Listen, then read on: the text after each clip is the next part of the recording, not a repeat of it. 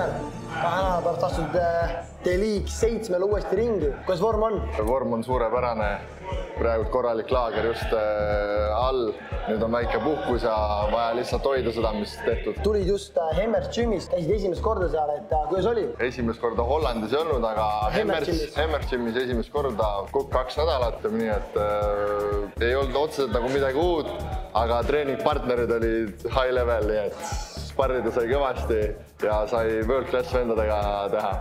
no võib kohe välja tuua, et, äh, et Hemmers Gymis treenib ju üks One Championshipi top viis mehi, Marat Grigorjan. just, said temaga ka teha? sparrisin temaga ka väga terav, sain mõned korralikud matsud pihta ka, väga korralikud matsud ikka pihta või mida annab sinule sellise mehega sparrimine? kindlasti enesekindlust, et eh, ma olen suuteline koos nendega sparrima ja treenima, et see näitab, et on õiget asja tehtud. kes on su vastane D-League seitsmel? Liig seitsme vastane on eh, Liibanonist pärit võitleja Jussef Abud, väga plahvatuslik, ongi plahvatuslik ja jalgadega teeb palju, palju tööd So for now, I'm training so hard with my father to improve my skills, my technique, my stamina. So I'm always ready. I think Romero is a tough fighter with good experience. As I saw the videos, as I saw on the organization page, he didn't lost any fight in this organization. Uh, I hope he's preparing well to give a good show. It's gonna be my first visit to Estonia, as I saw Estonia, the beautiful country with the rich history. I'm so excited to be there to experience the local culture and the people while I'm there. I'm so excited to be there for the first time. I appreciate your support. I'm gonna give all what I have in the ring. ma arvan, et äh, võitlusspordi huvilised on kindlasti näinud võib-olla mõnda videot Instagramis.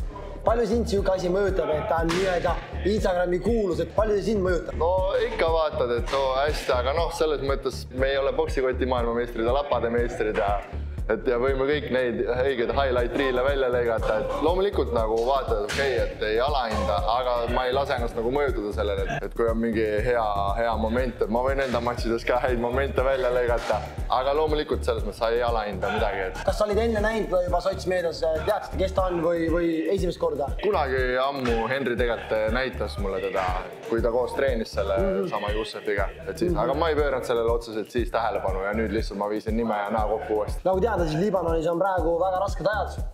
ehk siis võib-olla isegi kahtluse all, kas ta saab üldse välja sealt. just, no loodame, et kõik läheb eh, nii, nagu on plaanitud, aga lihtsalt tuleb viimase minutini lihtsalt hinge kinni hoida, et kõik.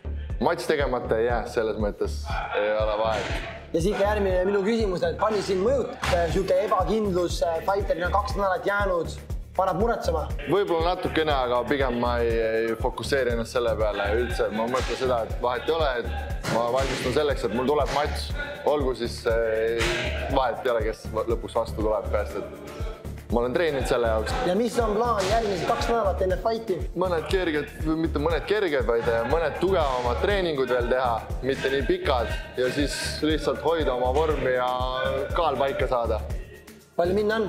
äkki praegult mingi kuus-seitse kilo on minna, sihuke standard nagu alati. no vorm on igatahes sul võimas, lapa peal olid sa võimas, nii et äh, ma arvan, ma räägin kõigi ees, kui ütlen, et äh, me väga ootame näha sind League seitsmel ja loodame, et sa jätkad äh, oma nullirekordit League'i ringis.